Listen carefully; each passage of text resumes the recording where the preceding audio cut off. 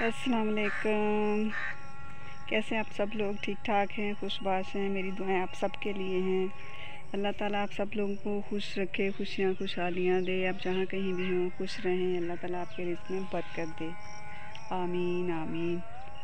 आज का व्लॉग शुरू करने से, शुरू करते हैं? चलिए जी, आज भी मैं आपको दिखाती हूँ कि मकई किस तरह से लगाई जाती है। पहले इसके अंदर ये बनाए जाते हैं, इसको पंजाबी में वट्टे कहते हैं।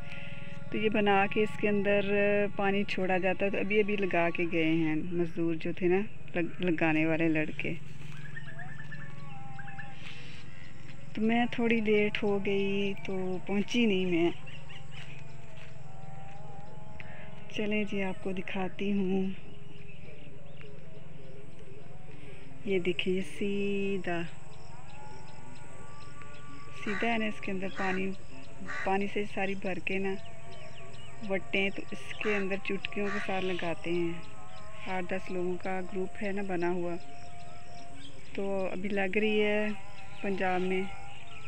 ये भी है इस माह में या अगले जो अगस्त है, उसके सेकंड वीक तक से लगी उसके बाद इसका जो टाइम है, वो ओवर हो जाएगा। तो अभी लोग लगा रहे हैं।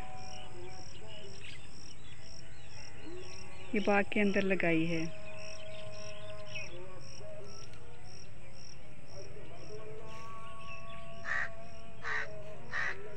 शाम का टाइम है, मौसम ठीक है, गर्मी भी है, बहुत ज़्यादा, हबस भी बहुत ज़्यादा हो गया है।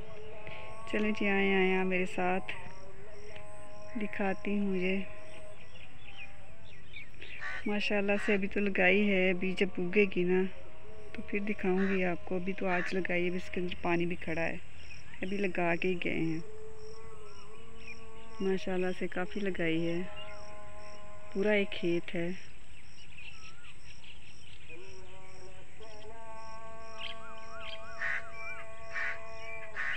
ये पाकिस्तान के पंजाब में अब इंडियन साइड पे पता नहीं क्या है। अगर मेरा कोई इंडियन जो मेरा है सब्सक्राइबर वो मुझे बताए कि इंडिया में इस टाइम पे क्या लग रहा है। पाकिस्तान में तो चावल और ये मकई लगाई जा रही है ना इसको। बोना जिसको कहते हैं, बोई जा रही है। तो जाके अभी जे नवंबर, दिसंबर में बिल्कुल पक कर तैयार हो जाएगी तो उसके बाद इसको निकालेंगे, इसके कवर जो ऊपर से उतार के सूख जाएँगे ना जब, फिर इसको मशीन के साथ निकलवा लेंगे। मार्केट में सेल कर देंगे।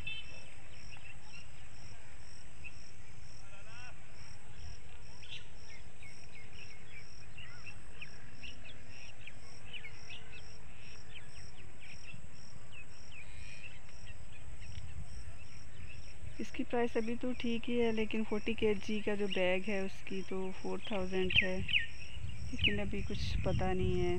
मार्केट अप एंड डाउन होती रहती है। पाकिस्तान में ये बहुत ही एक बुरी बीमारी है कि जब फ़सल जो पक के तैयार हो जाती है ना मार्केट में जाने का, ले, लेके जाने का टाइम होता है ना तो उस टाइम पे जो उसके प्राइस है जिसका रेट है, वो फ़ौर गवर्नमेंट गिरा देती है। तो जिससे बहुत ज़्यादा नुकसान होता है फार्मर को और लोग फिर गवर्नमेंट को सुनाते हैं, गालियाँ भी देते हैं। कितने पैसे लगाए, मेहनत और सारा सब कुछ किया, इसके ऊपर बहुत खर्चा आता है एक खेत के ऊपर। ये कॉस्टली चीज़ें हैं, ये कोई कोई वो इतना वो नहीं है। सारी चीज़ें बहुत महँगी हैं। बीज से लेकर खाद, पानी और फिर मज़दूरी और सारा सब कुछ बहुत खर्चा आता है, इसके ऊपर बहुत कम प्रॉफिट मिलता है।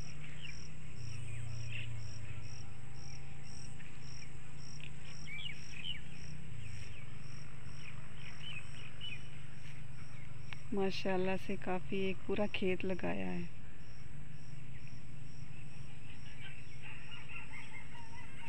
जैसे जैसे बड़ी होगी, वैसे वैसे मैं आपको व्लॉग बना के दिखाती रहूँगी।